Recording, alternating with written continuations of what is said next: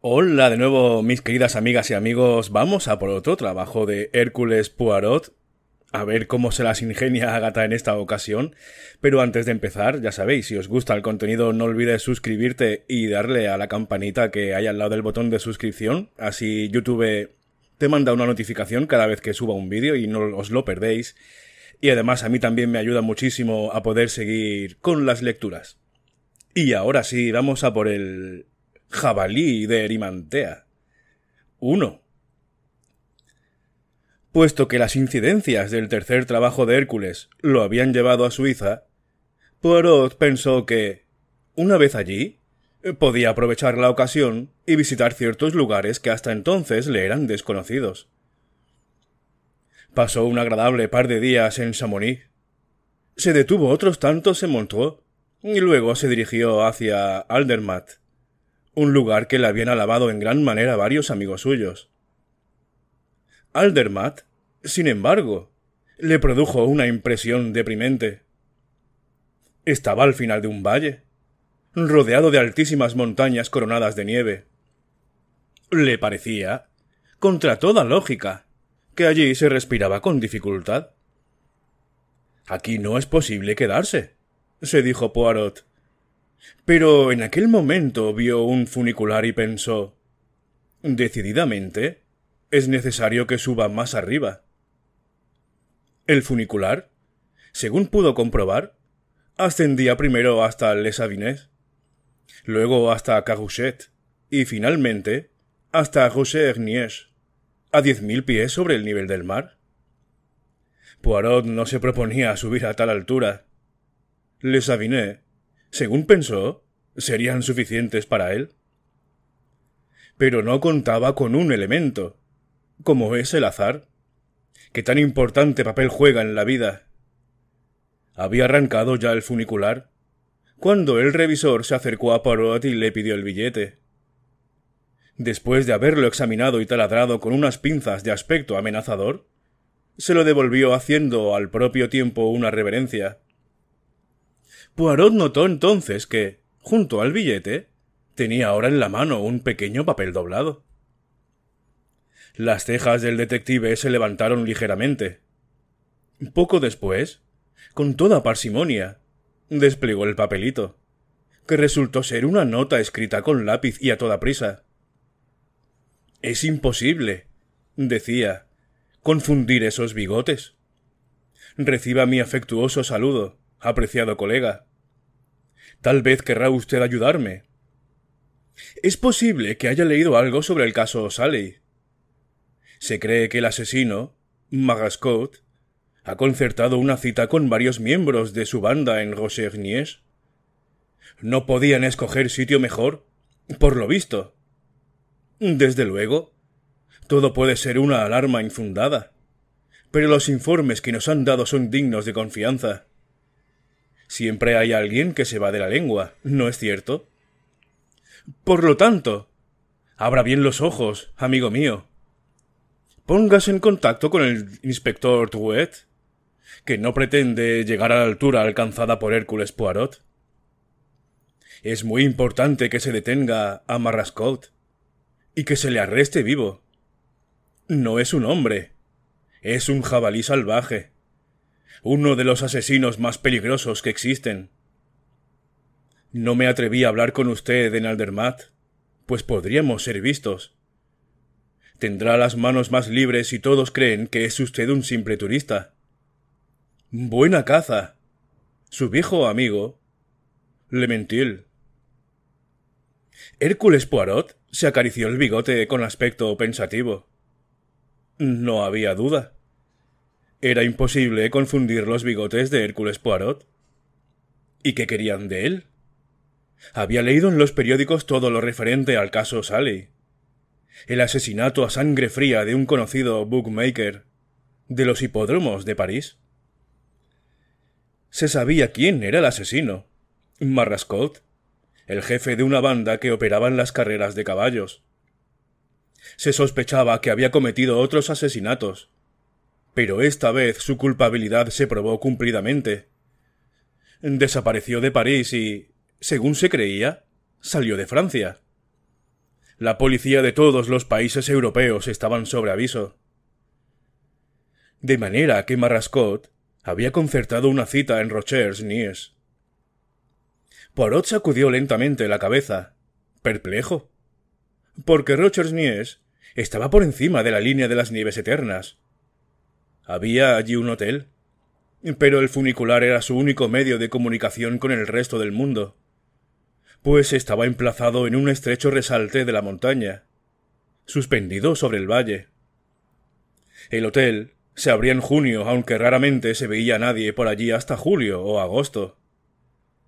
Era un sitio muy poco provisto de entradas y salidas.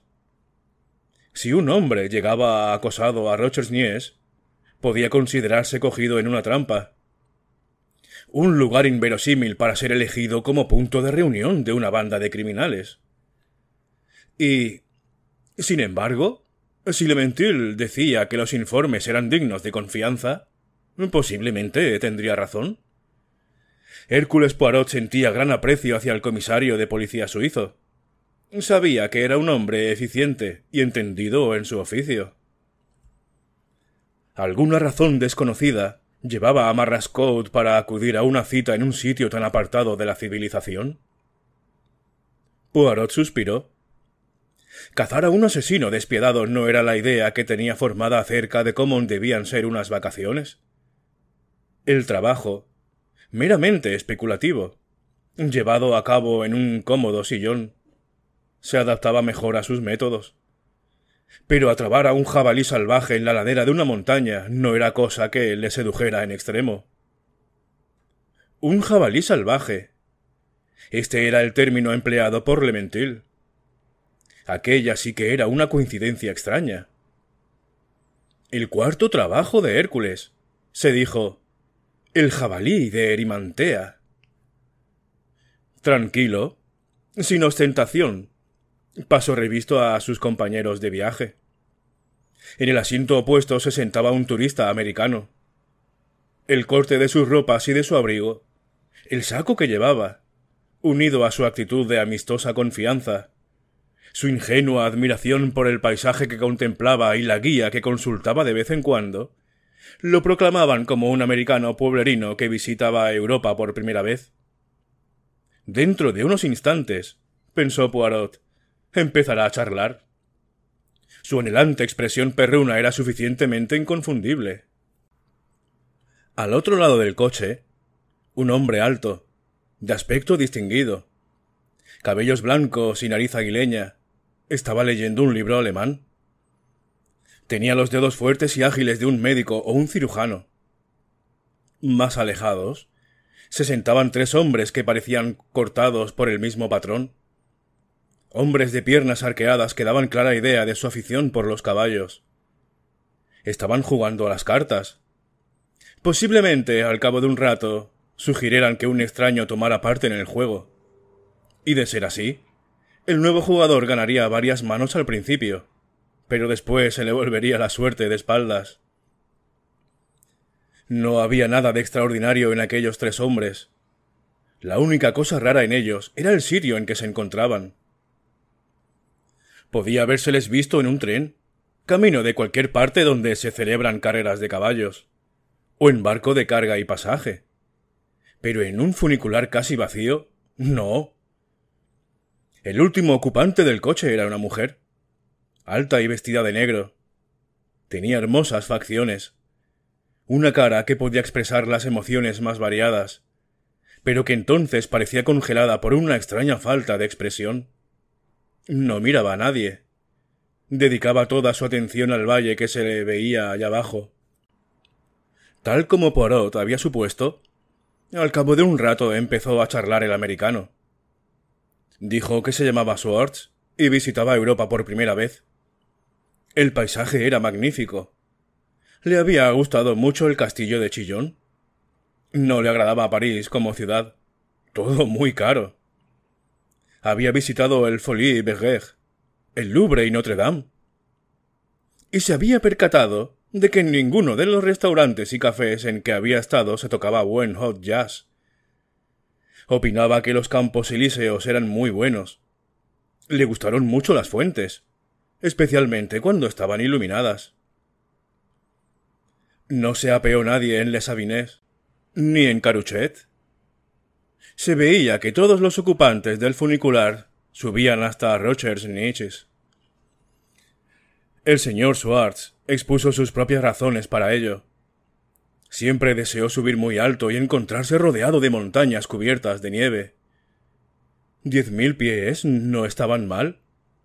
Había oído que no se podía cocer bien un huevo a tales alturas.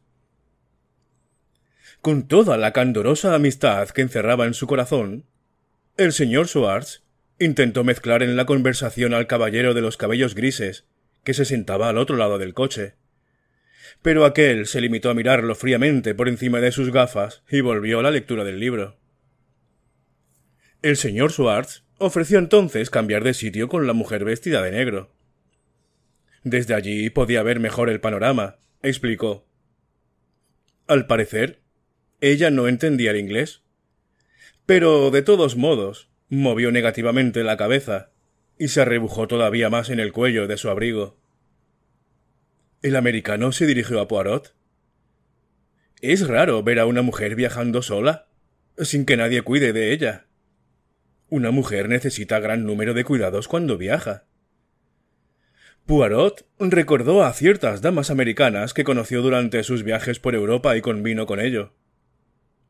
El señor Schwartz lanzó un suspiro. Encontraba el mundo poco dado a la amistad. Después de todo, parecían decir expresivamente sus ojos castaños. ¿No hay ningún mal en que haya un poco de compañerismo por ahí? 2. El ser recibido por un gerente de hotel, vestido correctamente de frac y calzado con zapatos de charol, parecía algo cómico en aquel lugar apartado del mundo, mejor dicho, tan sobre él. El gerente era un hombre corpulento y distinguido, de maneras presuntuosas. Se deshizo en disculpas. No había empezado todavía la temporada. La instalación de agua caliente se estropeó las cosas eran difíciles de llevar en buen orden dado lo apartado del lugar. Pero naturalmente haría lo posible para que los señores estuviesen bien atendidos. La servidumbre no estaba completa todavía. Estaba aturdido por el inesperado número de visitantes que habían llegado. Todo aquello fue dicho con profesional urbanidad y, sin embargo, a Poirot le pareció que detrás de aquella cortés fasade se veía un reflejo de aguda ansiedad. Aquel hombre, a pesar de sus obsequiosidades, no estaba tranquilo. Algo le turbaba. La comida fue servida en una gran habitación que daba vista a un profundo valle. El único camarero, llamado Gustave, parecía ducho y diestro en su oficio. Iba de aquí para allá, aconsejando los platos y facilitando la lista de vinos. Los tres hombres que parecían mozos de cuadra se sentaron juntos a la misma mesa. Reían y hablaban en francés, levantando la voz. Vaya con el viejo Joseph. ¿Y qué me dices de Denis? Amigo mío. ¿Te acuerdas del sacre penco que nos hizo aquella jugarreta de O'Tail? Todo parecía sincero, muy en consonancia con el carácter de ellos pero absolutamente fuera de lugar en aquellas alturas. La mujer vestida de negro ocupó una mesa en un rincón. No miró a nadie. Después de comer, cuando Poirot estaba sentado en el salón, el gerente se dirigió hacia él y habló con más confianza. El señor no debía juzgar con mucho rigor al hotel. No había comenzado todavía la temporada. No venía nadie hasta finales de julio. Tal vez se había fijado el señor en la señora. Venía todos los años por aquellas fechas. Su esposo se mató en una escalada. Hacía tres años. Fue una tragedia. Pues se querían mucho. Ella venía siempre antes de que empezara la temporada. Porque así todo estaba más tranquilo. Era como una peregrinación sagrada. El caballero de más edad era un médico famoso, el doctor Karl Lutz, de Viena. Había venido, según dijo, a descansar. Sí. Es un sitio muy tranquilo, admitió Poirot. ¿Y los señores? indicó a los tres hombres. ¿Cree usted que también desean descansar? El gerente se encogió de hombros. Otra vez apareció en sus ojos la expresión conturbada. Los turistas quieren siempre sensaciones nuevas, dijo vagamente. La altura. Solo eso ya es de por sí una novedad. A pesar de todo, no era aquella una sensación agradable, pensó Poirot. Se había dado cuenta de que el corazón le latía más rápidamente. Los versos de una canción infantil le pasaron tontamente por la imaginación. Arriba, encima del mundo, como una bandeja en el cielo. Suárez entró en el salón. Su rostro se iluminó cuando vio a Poirot y se dirigió rectamente hacia él. ¿Acabo de ver a ese doctor? dijo. Habla un inglés con un acento bastante raro. Es judío. Los nazis lo expulsaron de Austria. Lo que yo digo. Esa gente no está bien de la cabeza. El doctor Lutz es un gran hombre. Creo que es especialista de los nervios, psicoanalista y cosas por el estilo. Dirigió la, la mirada a la mujer vestida de negro que en aquel momento se encontraba junto a la ventana, contemplando el grandioso espectáculo de las montañas. El americano bajó la voz. El camarero me ha dicho que se llama señora Grandier. Su marido se mató durante una escalada. Por eso viene ella. Me parece que debíamos hacer algo, ¿no le parece?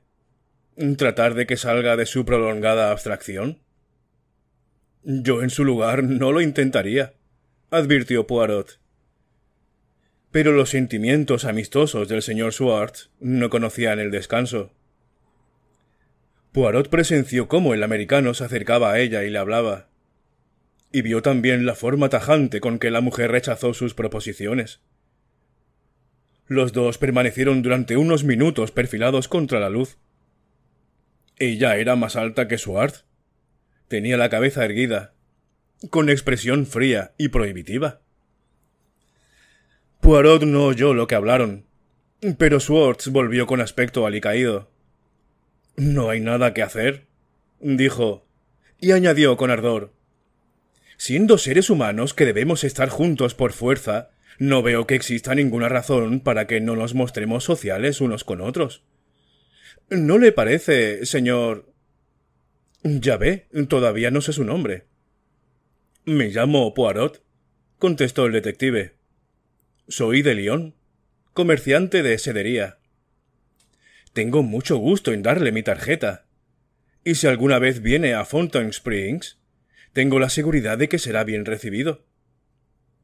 Poirot aceptó la tarjeta y con una mano se golpeó el bolsillo, mientras decía ¡Qué contrariedad!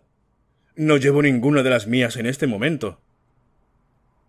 Aquella noche, cuando el detective se retiró a su habitación, leyó detenidamente la nota de Elementil antes de volverla a colocar en su cartera, doblada con sumo cuidado.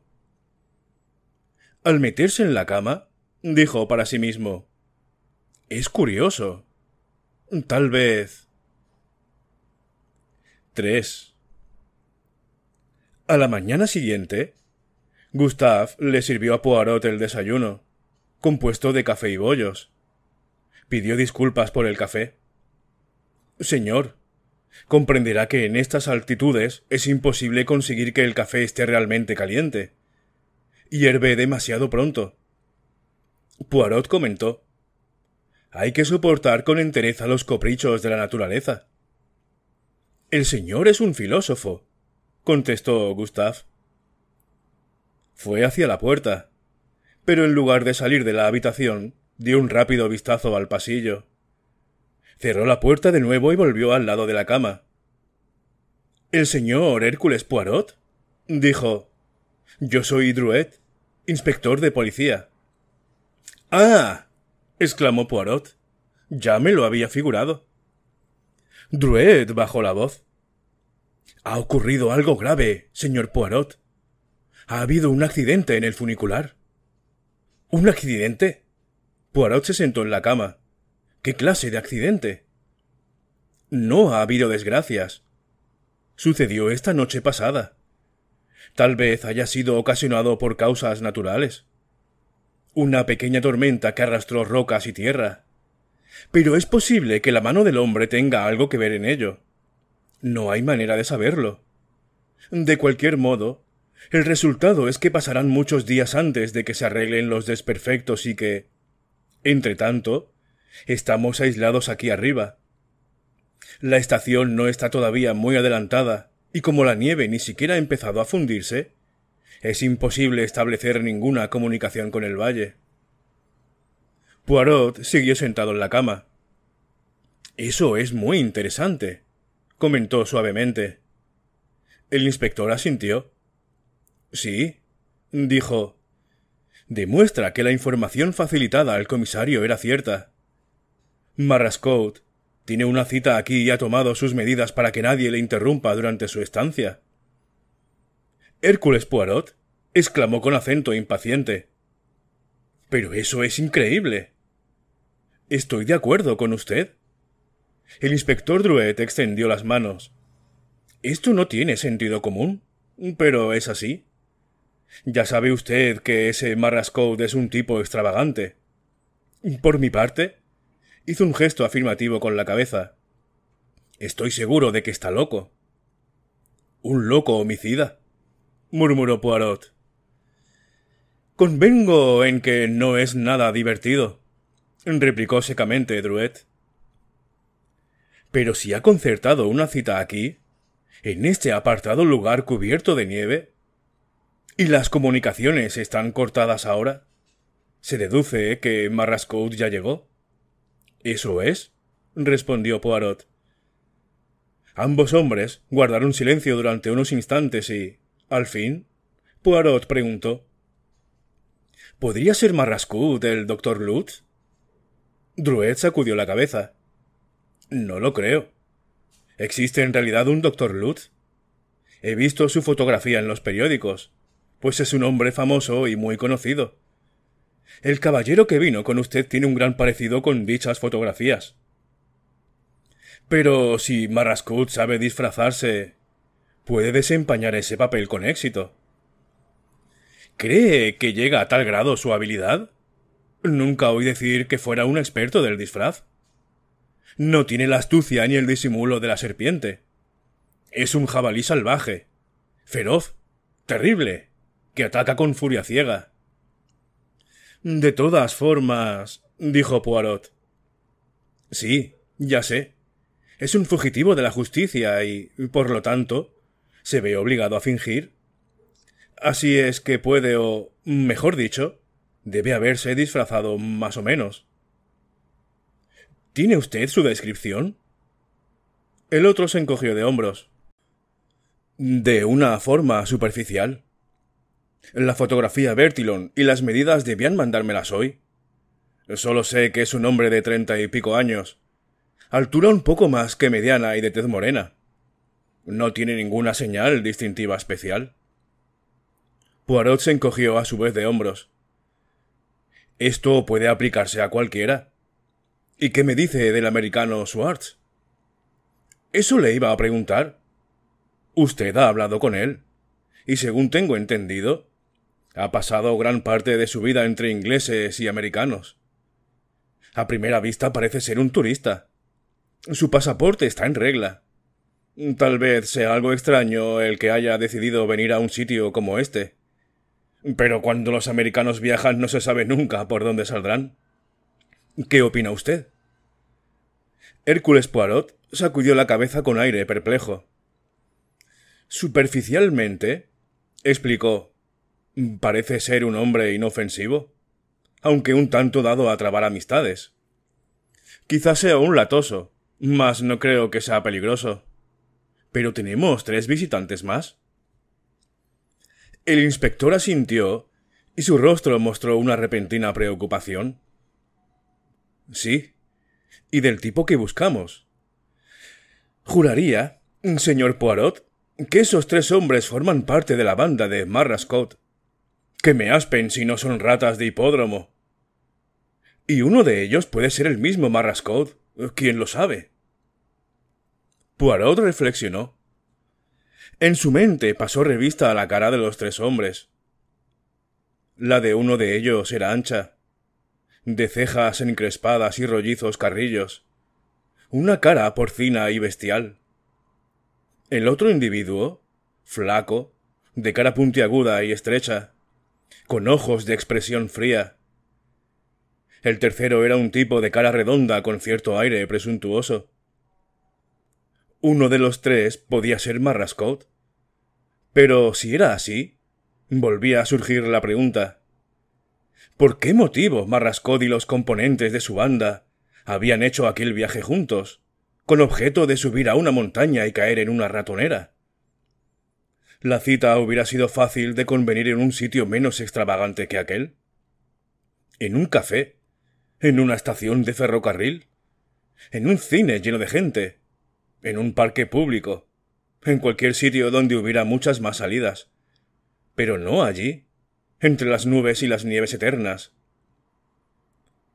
Poirot trató de imbuir al inspector Drouet algunos de estos conceptos, y el policía convino sin ninguna dificultad en ellos. Sí. Es verosímil. No tiene sentido.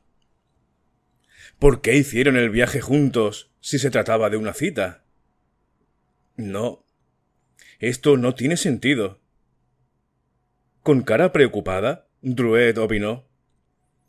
En ese caso, ¿debemos hacer una segunda suposición?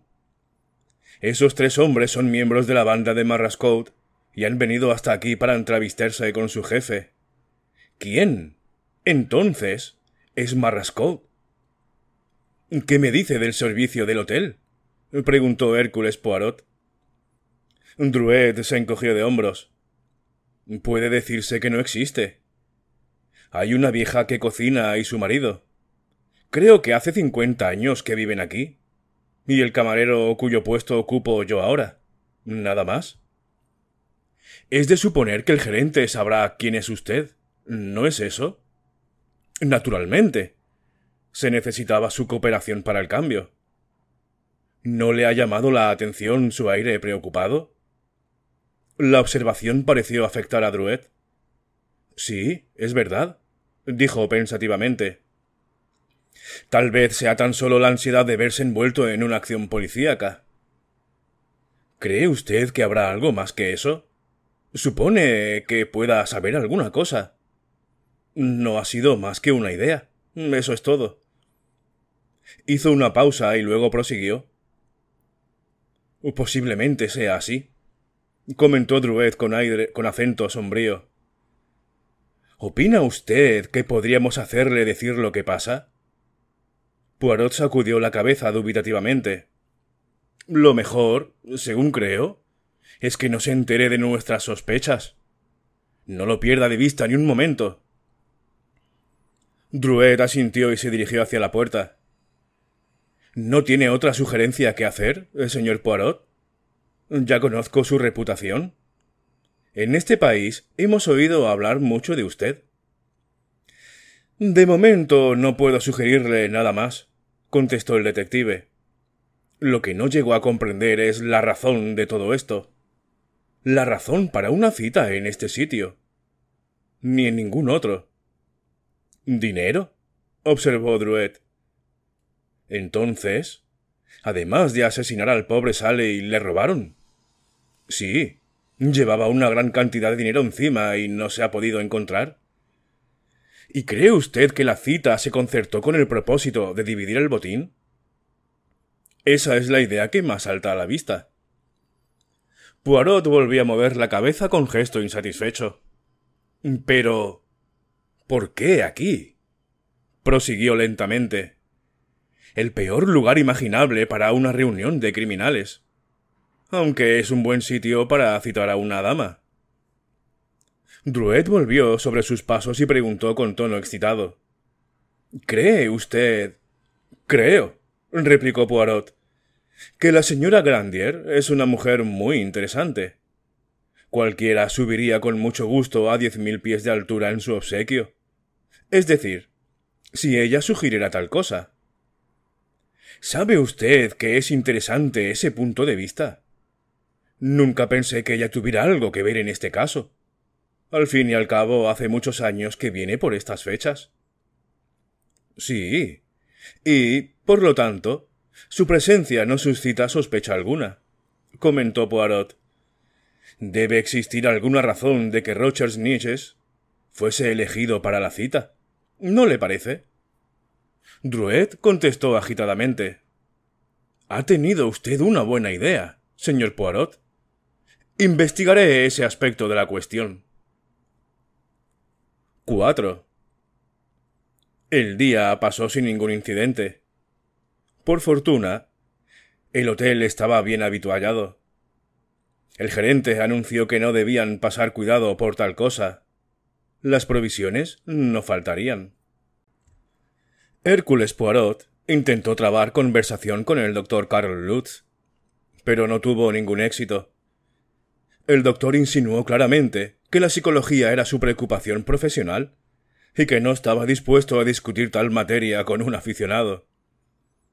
Tomó asiento en un rincón y siguió la lectura de un grueso tomo alemán que trataba sobre el subconsciente. De vez en cuando tomaba alguna nota. Poirot salió de la casa y se dirigió, casualmente, al parecer, hacia donde estaba situada la cocina. Una vez allí probó de hacer charlar al viejo Jacques, pero éste se mostró esquivo y desconfiado. Su mujer, la cocinera, fue más asequible. Por suerte, explicó a Poirot, tenían gran cantidad de conservas, aunque ella no era partidaria de tal clase de alimentación. Además de ser terriblemente caras, ¿qué sustancia podía encontrarse en ellas? Dios al hacer el mundo no se propuso que la gente viviera de latas de conservas. La conversación fue derivando hacia el tema referente al servicio del hotel. A primeros de julio llegaban las criadas y los camareros de refuerzo. Pero durante las próximas tres semanas no habría nadie o casi nadie. La gente que subía, en su mayor parte, comía allí y luego volvía al pueblo. Ella, Jax y el camarero se bastaban para cuidar de todo. Antes de que viniera Gustave, hubo aquí otro camarero, ¿verdad? preguntó Poirot. Sí, desde luego. Era un camarero muy malo. No tenía habilidad ni experiencia. No servía para nada. ¿Estuvo mucho tiempo antes de que lo reemplazara Gustave? Solo unos pocos días. Menos de una semana. Lo despidieron, como es natural. No nos sorprendimos. Era una cosa que se veía venir. No protestó por ello. No, se fue bastante a la chita callando. Al fin y a la postre, ¿qué es lo que podía esperar? Este es un hotel de primera categoría, y el servicio debe ser bueno. Poirot asintió. ¿Y a dónde fue cuando se marchó de aquí? preguntó. ¿Se refiere a usted a Roberto? encogió los hombros. Sin duda al cafetucho de donde vino. ¿Bajó en el funicular? La mujer lo miró con curiosidad. Naturalmente, señor. ¿Por qué otro camino pudo irse? Lo vio alguien cuando se marchaba. Los dos cónyuges miraron fijamente al detective. ¿Cree usted que debíamos ir a ver cómo se marchaba aquel inútil? ¿A tributarle una gran despedida? Una tiene ya bastante con sus ocupaciones, replicó la mujer. Eso es, dijo Poirot se alejó lentamente de allí, mirando al propio tiempo el edificio que se levantaba ante él. Un hotel de vastas proporciones. Entonces sólo se utilizaba una de sus salas. En las otras había muchas habitaciones, cerradas, donde no era probable que encontrara a nadie. Al dar la vuelta a una esquina, casi se dio de bruces con uno de los tres jugadores de cartas.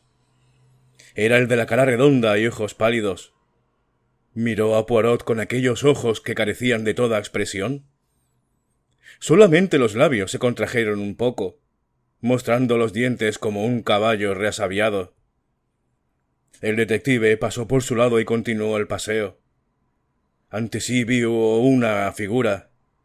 la elevada y airosa figura de la señora Grandier. Poirot apresuró el paso y se sintió al lado de la aparecida. Este accidente del funicular ha sido una contrariedad, comentó. Espero, señora, que no le habrá causado ningún perjuicio. Me tiene sin cuidado tal cosa, replicó ella. Tenía una voz profunda, de contralto. No miró a Poirot. Dio la vuelta y entró en el hotel por una puertecilla lateral. 5. Hércules Poirot se acostó temprano. Pero pasada la medianoche algo le despertó.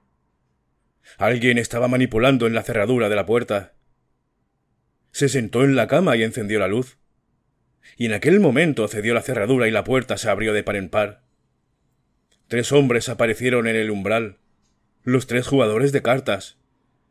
Estaban algo embriagados, según pensó Poirot. Sus caras tenían una expresión atontada, aunque malévola. Vio el brillo de una navaja de afeitar. El más corpulento de los tres avanzó y con un gruñido dijo Aquí tenemos a este puerco detective. Prorrumpió en un torrente de obscenidades. Los tres avanzaron resueltamente hacia la indefensa figura sentada en la cama. Vamos a trincharlo, muchachos. Le acuchillaremos la cara al señor detective. No será el primero esta noche. Y entonces. Impresionante con vigoroso acento transatlántico. Una voz ordenó Arriba esas zarpas. Los tres dieron la vuelta. Swartz, vestido con un pijama rayado, de vivos colores, estaba en el umbral. En la mano llevaba una automática. Manos arriba, pollos. Cuidado, que no suelo fallar ningún tiro. Apretó el gatillo y una bala pasó silbando junto a la oreja del gordo yendo a enterrarse en el marco de la ventana. Tres pares de manos se levantaron apresuradamente. ¿Permite que le moleste, señor Poirot? preguntó Swartz. Poirot saltó rápidamente de la cama. Recogió las relucientes armas y pasó las manos sobre el cuerpo de los tres hombres para asegurarse de que no llevaban encima ninguna más. De frente. Marchen. dijo Swartz. Hay un buen armario al final del pasillo. No tiene ventana alguna y es justamente lo que necesitamos. Condujo su rebaño hasta el armario y lo cerró con llave, una vez que hizo entrar a los tres individuos. Cuando volvió se dirigió a Poirot con voz atiplada por la emoción que experimentaba en aquel momento. ¿Llevaba razón o no? Sepa usted, señor Poirot, que algunos compadres de Fountain Springs se rieron de mí cuando dije que me iba a llevar una pistola. ¿A dónde crees que vas? Me preguntaron. A la selva. Bueno, ahora el que se ríe soy yo. ¿Vio usted nunca a pandilla semejante de rufianes? Mi apreciado señor Swartz, dijo Poirot. Apareció usted en el instante preciso. La cosa pudo haber terminado en drama. He contraído una gran deuda con usted. No ha sido nada. ¿Y qué hacemos ahora? Debíamos poner a estos chicos en manos de la policía. Pero eso es precisamente lo que no podemos hacer. Es un problema intrincado. Tal vez lo mejor será consultar ahora con el gerente. ¿Al gerente? Creo que primero debemos hablar con el camarero. ¿Con Gustav? ¿Alias Inspector Druet? Sí, el camarero Gustave es en realidad un detective. Schwartz miró fijamente a Poirot. Entonces por eso lo hicieron. ¿Qué es lo que hicieron y a quién? Ese atajo de bribones lo tenían a usted en el segundo lugar de su lista. Acuchillaron a Gustave. ¿Qué? Venga conmigo. El doctor Lutz lo está curando ahora mismo. La habitación de Druet era pequeña y estaba situada en el último piso. Vestido con una bata, el doctor Lutz estaba vendando la cara del herido. Volvió la cabeza cuando entraron los dos. Ah. Es usted, señor Schwartz. Un trabajo desagradable. ¡Qué carniceros! ¡Qué monstruos más inhumanos! Drued no se movía, pero gemía aunque ligeramente. ¿Está grave? preguntó el americano. No morirá, si a eso es a lo que se refiere. Pero no debe hablar. No se le debe excitar. Le vendé las heridas y no hay peligro de septicemia. Los tres hombres salieron juntos de la habitación. Schwartz preguntó al detective. ¿Dijo usted que usted pertenece a la policía? Hércules Poirot asintió. ¿Y qué hacía aquí? En Rochers Nieches. ¿Se le había confiado la misión de atrapar a un peligroso criminal? Poirot explicó la situación en pocas palabras. ¿Marrascout? preguntó el doctor Lutz. Leí el asunto en un periódico. Me gustaría mucho encontrarme con ese hombre. Debe padecer una profunda anormalidad. Me interesaría enterarme de cómo fue su infancia. Pues yo, dijo Poirot, me contentaría con saber exactamente dónde está en estos momentos. ¿Es alguno de los que encerró en el armario? preguntó el americano. Poirot contestó con acento dubitativo. Es posible, pero no estoy seguro. Tengo una idea. Cayó y miró fijamente la alfombra. Era de color avellana claro, y en ella se veían las huellas de un tono rojizo profundo. Huellas de pasos, dijo el detective. Huellas de sangre que, según creo, conducen hacia la parte inhabitada del hotel.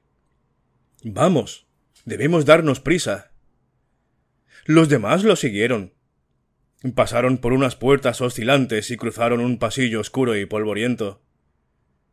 Dieron vuelta a un recodo siguiendo todavía las huellas, hasta que llegaron ante una puerta entreabierta. Poirot la acabó de abrir y entró en la habitación. Lanzó una exclamación aguda y horrorizada.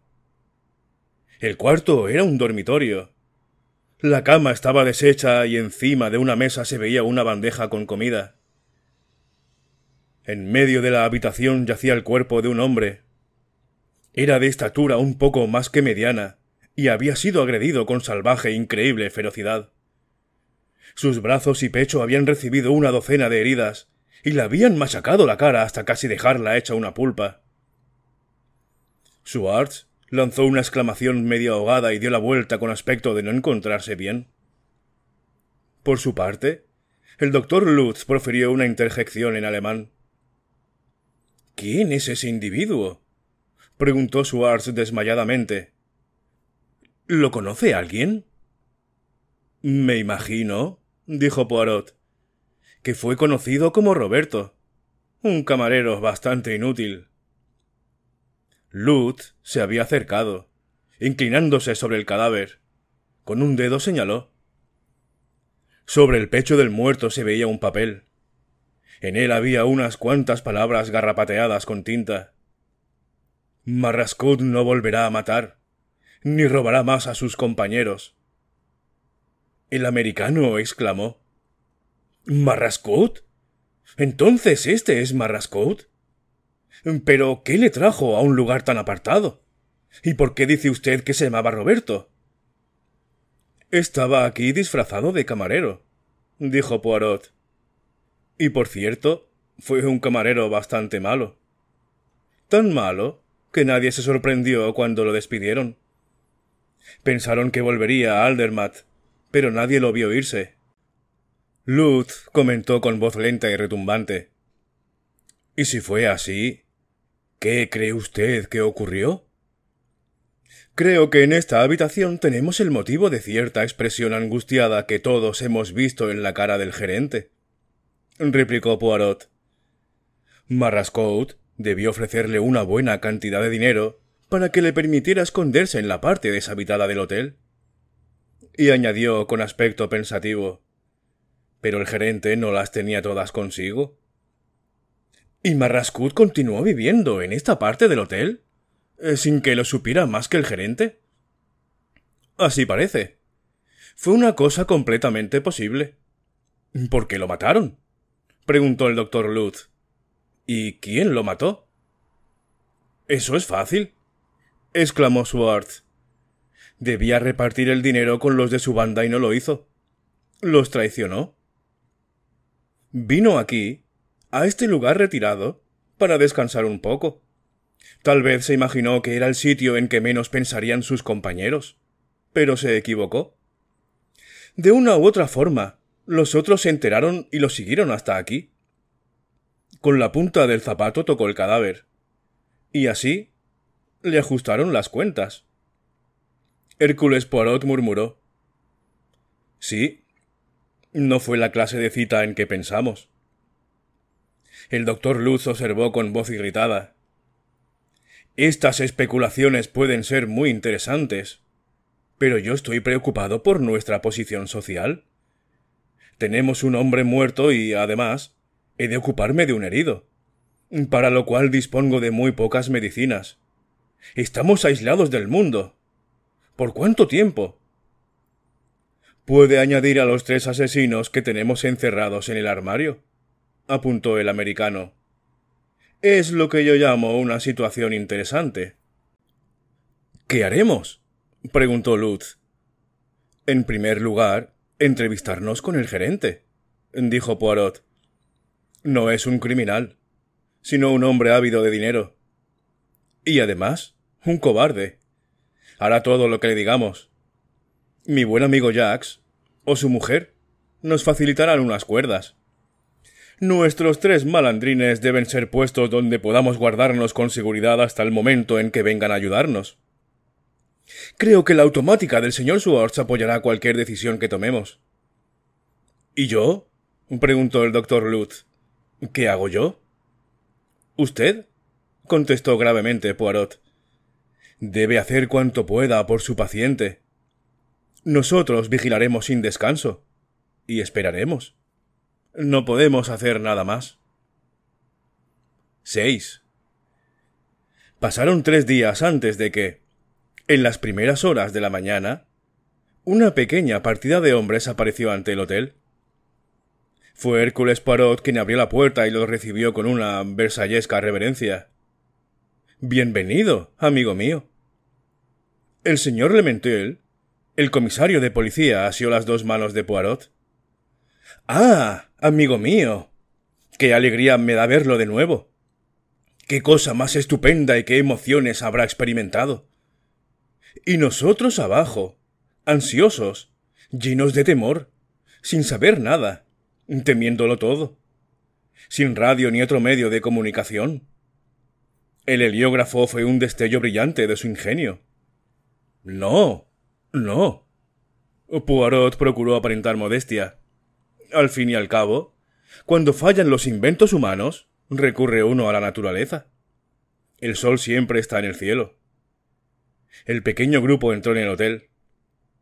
¿No nos esperaban? preguntó Lementil con sonrisa que más bien era una mueca. Poirot sonrió a su vez.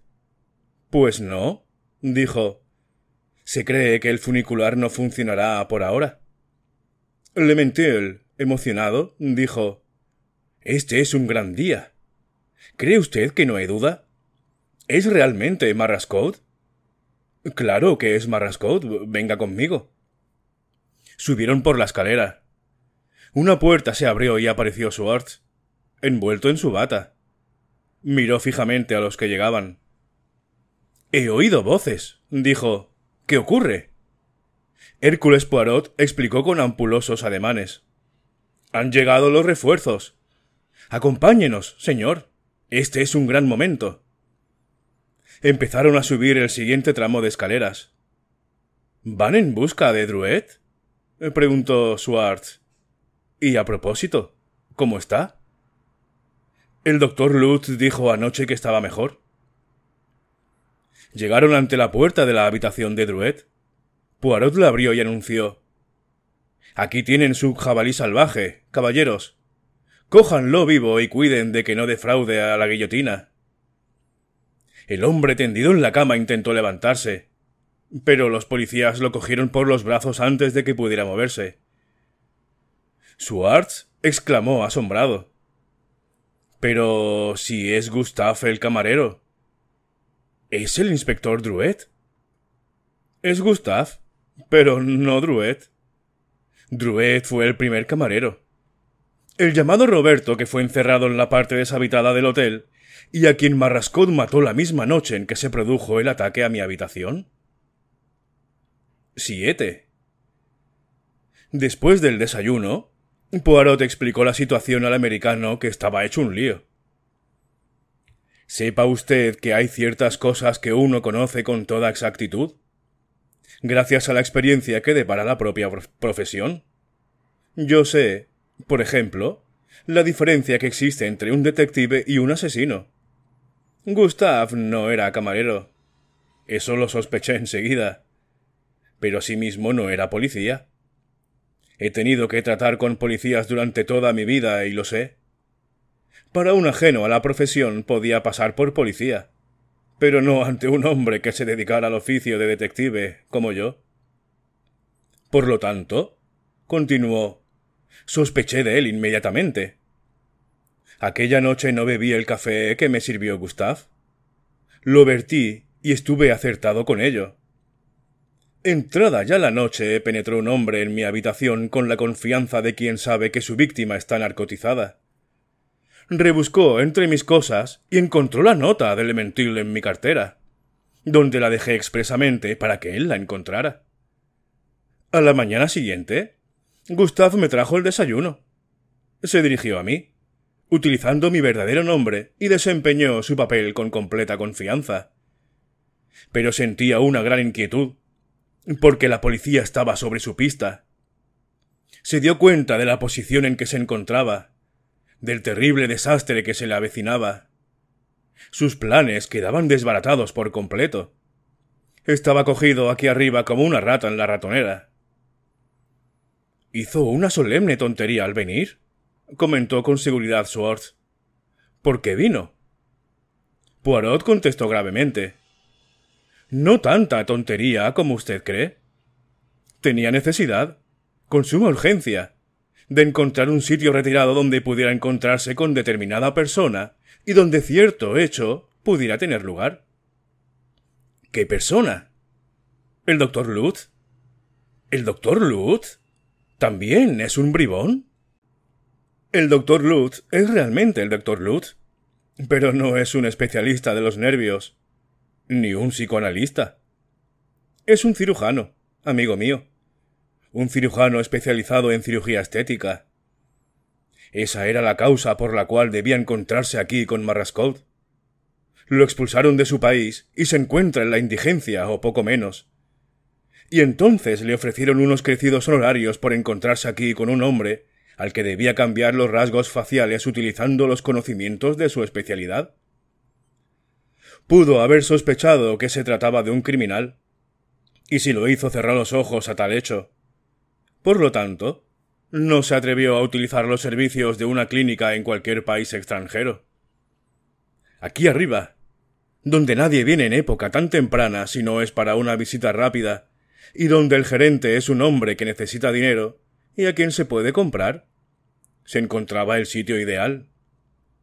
Pero, como dije, las cosas no salieron bien, continuó Poirot. Marrascot fue traicionado. Los tres hombres, sus guardaespaldas que debían venir para protegerle, no habían llegado aún. Pero Pan Marrascot actuó sin perder momento. Secuestró al policía que se hacía pasar por camarero y ocupó su puesto. La banda se ocupó luego de estropear el funicular. Todo era cuestión de ganar tiempo. La noche siguiente fue muerto Druet y le prendieron un papel en el pecho. Esperaban que cuando se restablecieran las comunicaciones con el valle, el cuerpo de Druet hubiera sido enterrado como el de Marrascot. El doctor Lutz llevó a cabo su operación sin más demora, pero tenían que hacer callar a un hombre, a Hércules Poirot, y por lo tanto envió a su banda para que me liquidaran. Gracias a usted, amigo mío, Poirot hizo una ligera inclinación de cabeza. Entonces. ¿Es usted realmente Hércules Poirot? preguntó el americano. Ni más ni menos. ¿Y no le engañaron ni un instante con aquel cadáver? ¿Sabía usted entonces que no era el de Marrascot? Naturalmente. ¿Y por qué no lo dijo? La cara de Poirot se tensó repentinamente. Porque quería estar seguro de entregar a la policía al verdadero Marrascout. Y murmuró para sí mismo. Quería capturar vivo al jabalí salvaje de Erimantea. Bien, aquí hemos terminado este capítulo del jabalí, que por lo que vemos le debemos dar las gracias a este americano, a Swords, por la vida de Hércules Poirot. Si no hubiera sido con él, nos hubiéramos quedado ya sin más novelas. bueno, espero que lo hayáis disfrutado, haberme ganado tu me gusta y suscripción, que me ayudan muchísimo para seguir con las lecturas. Y nos vemos en el siguiente trabajo, que son en Los establos de Augías. Hasta luego.